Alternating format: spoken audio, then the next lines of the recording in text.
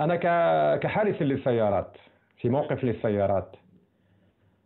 إنه عمل بسيط ومع ذلك هذا العمل قربني من الناس كثيرا وعرفني بأناس أحببتهم وأناس لهم الفضل علي. وهو وإن بدا عملا غير لائق للبعض.